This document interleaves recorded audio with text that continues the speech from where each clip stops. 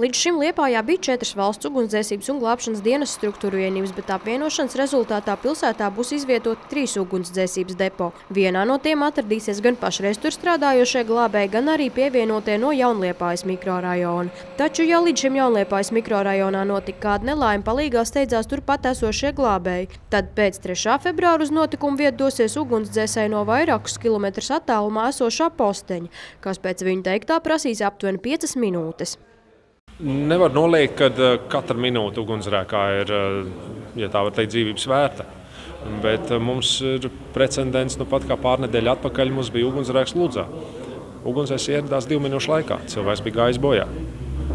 Viņa ugunsdzēsēs vajadzēja minūtes attālumā pārcelt, vai kur drošība sākās ne ar to, vai cik tuvu atrodas ugunsdzēsēji. Drošība sākās ar to, cik mēs ikdienā viņai pievēršam lielu uzmanību. Seks jau var būt neprognozējams viņam, un koku māja viņa vienalga, vai viņš te ir ātrāk, vai viņš te ir vēlāk. Lai gan, lai gan Rīgas ielā, kad bija, tad jau bija ļoti labi, ka te bija.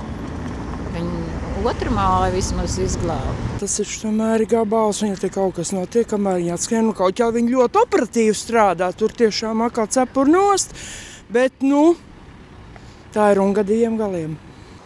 Dienests gan skaidro, ka šis struktūra vienība izvietojums Liepājā ir un būs tāds, kas ļauj izpildīt normatīvajos aktos noteikto ierašanās laiku uz notikumu astoņās minūtēs. Kā mēdījus preses konferenci informē dienesta pārstāvi, depo Jaunliepājas mikrorajonā nolemts slēgt, jo 1850. gadā būvētā ēka ir nolietojusies vairs neatbilst sanitārajām, darba aizsardzības un darba vidas prasībām un rada bažas par personāla drošību.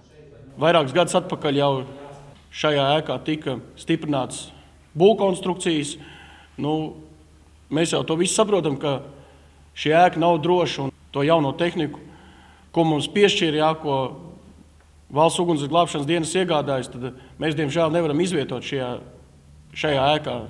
Pašreiz Jaunliepājas depo strādā 37 amatpersonas, bet no 3. februāra viņi tiek pārvietoti darbā uz citām struktūru vienībām, atbilstoši tuvāk viņu dzīves vietai, kas var būt pat citās pašvaldībās. Darbu apvienošanas procesā neviens nezaudēšot. Kas notiks ar pašu ēku, gan vēl nav zināms, taču, kā informē dienesta pārstāvi, nākotnē Liepājā tiek plānots būvēt jaunu depo, kam vēl ir nepieciešams atrast vajadzīgos naudas līdzekļus.